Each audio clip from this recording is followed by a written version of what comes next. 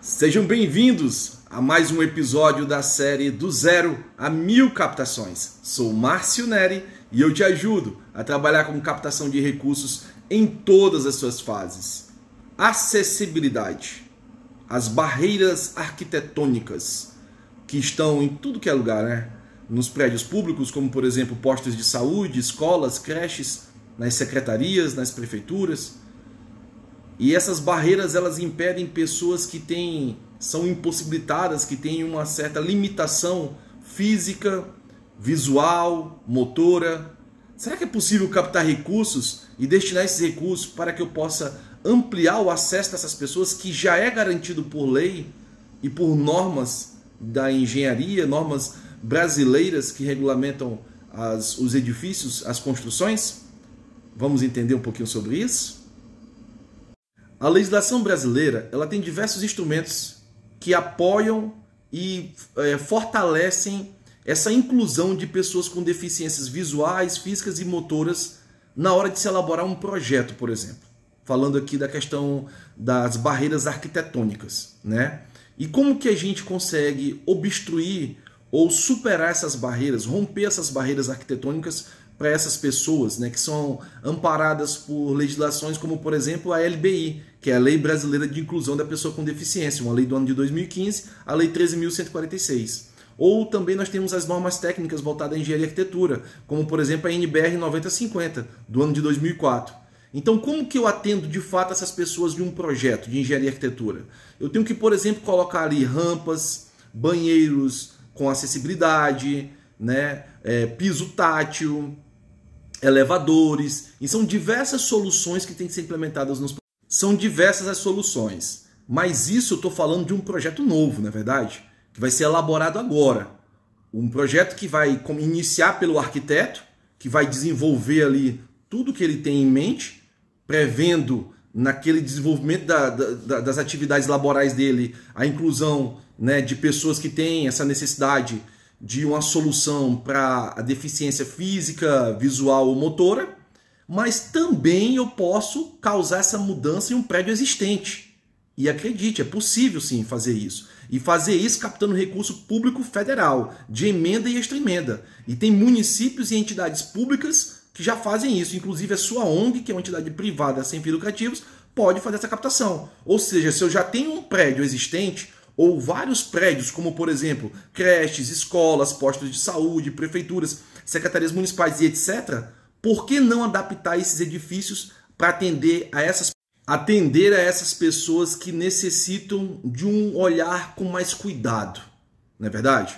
Então elas precisam sim estar sempre nos nossos pensamentos quando vamos elaborar um projeto. Eu falo isso porque eu também sou engenheiro e eu iniciei nessa carreira de captação de recursos elaborando o projeto há mais de 20 anos atrás. Ok, então como que seria possível isso? Eu vou te apresentar um caso agora. O município de São Bernardo do Campo, no estado de São Paulo, ele fez uma captação em 2022, agora, em 2022, através de um recurso de emenda individual poderia ter sido de emenda de bancada, emenda de comissão, emenda de relatoria, foi de emenda individual e poderia ter sido de extra emenda, não precisa ser de emenda.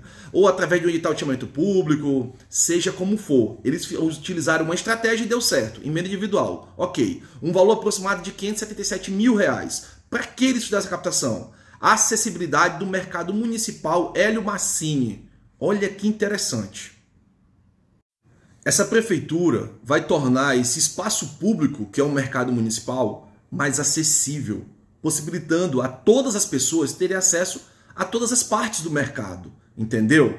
Então poderia ter sido o quê? Também uma creche, uma escola, um hospital, um posto de saúde, não importa. É um espaço público, seja municipal ou estadual, ele tem barreiras arquitetônicas e etc. Qualquer tipo de barreira, mas estou falando aqui no vídeo sobre as barreiras arquitetônicas, Sim, eles poderiam ter resolvido isso com recurso próprio, inclusive, ou com recurso estadual, mas eles captaram recurso federal. Isso que é otimizar o recurso público. Muitas prefeituras e governos estaduais têm realizado obras com recurso próprio, podendo estar fazendo elas com recurso federal, com apoio sem apoio político, de emenda ou extra emenda, não importa, entendeu? Isso é entender de captação de recursos em todas as suas fases. Então, neste caso aqui, o mercado vai ser adaptado e pessoas com deficiência visual, física ou motora terão acesso.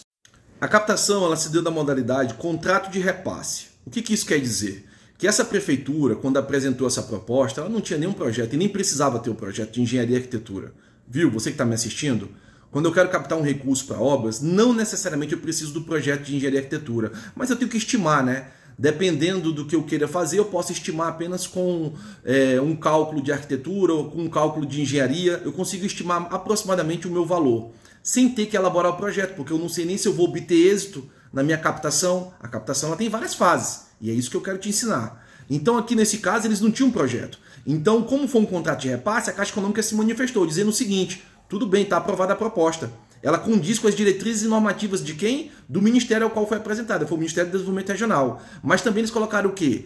Posteriormente, tem que ser apresentadas as áreas de intervenção, funcionalidade, execuibilidade, serviços envolvidos, quantitativos e custos e talvez a manifestação ambiental. É importante frisar sobre essa questão da elaboração do projeto quando a captação envolve obras. Envolvem obras. Né? Um projeto de engenharia e arquitetura. Por quê? Porque nem sempre eu preciso ter o projeto de engenharia arquitetura no início da captação, das estratégias, por onde eu vou captar. Isso demanda tempo, custo. Então não preciso. Imagina se para todo tipo de captação que eu tivesse o interesse de captar, que envolvesse obras, eu tivesse já que fazer o projeto de engenharia e arquitetura. Cara, ninguém consegue, entendeu? Então, nesse caso aqui, foi aberto sim um prazo para ser apresentado o projeto de engenharia e arquitetura e demais documentações, como eu falei. E qual é esse prazo atualmente? Para este caso aqui, o prazo é 30 de novembro de 2023. E essa prefeitura tem até lá para superar a cláusula suspensiva, que é essa etapa agora que ele tem que apresentar o projeto e demais documentações. Bem, sou Márcio Neri e eu te ajudo a trabalhar com captação de recursos em todas as suas fases, porque recurso financeiro tem, o que falta é capacidade técnica.